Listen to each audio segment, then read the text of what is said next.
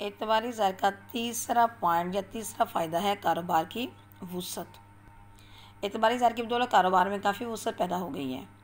वो कैसे कि हुंडियाँ या बिल्स वगैरह या बैंक ड्राफ्ट, चेक्स के ज़रिए कारोबार जो है वो सहल हो गया है। एक इलाके से दूसरे इलाके में माल को मंगवाना और उधार बल्कि मंगवाना जो है वो आसान हो गया। उसकी फ्रो और अदायगी भी आसान हो गई है एतबारी ज़र की वजह से। फोर्थ नंबर है गैर मुल्की अदागियाँ गैर मुल्की अदागियों को भी हम एतबारी ज़र की बदौलत आसानी से उसकी अदायगी कर सकते हैं। और इस तरह बैन अवी तजारत काफ़ी आसान है, हो गई है। बचत की आदत एतबारी ज़र की बदौलत लोगों में बचत की आदत की हौसला अफजाई होती है। वो ज़्यादा से ज़्यादा रकूम बचाते हैं ताकि अपने कारोबार को वसत दे सकें। सिक्स है कारोबारी सलाहियतों से इस्तफ़ादा। एतबार ज़ार की बदौलत लोग अपने कारोबारी सलाहियतों से भरपूर इस्तफ़ादा हासिल करते हैं।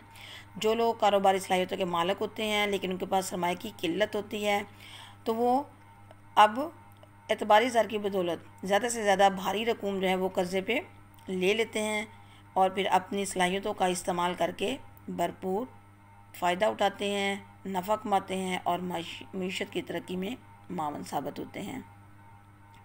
कीमतों में इसकाम किसी भी मुल्क में कीमतों में ज़र की रसद बराह रास्त असरानंदाज होती है। वो कैसे? ज़र की रसद अगर बढ़ जाए तो कीमतों में इजाफा हो जाता है। अगर रस, रसद कम हो जाए ज़र की तो कीमतों में कमी आ जाती है।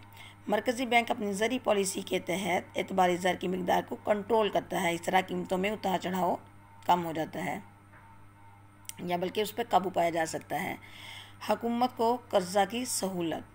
एतबार ज़ार की ज़रूरत, हुकूमत को भी जैसे लोग आम आपस में लेन देन करते हैं, कर्ज़ा लेते हैं, इसी तरह हुकूमत को भी कर्ज़ा की सहूलत काफ़ी मिल जाती है। हुकूमत जब चाहे बैंकों से एतबार ज़ार की सूरत में कर्ज़ा हासिल कर सकती है। धाती ज़ार की सूरत में हुकूमत को इतनी आसानी से कर्ज़ा हासिल नहीं हो सकता जितना कि एतबारी ज़ार से हासिल होता है।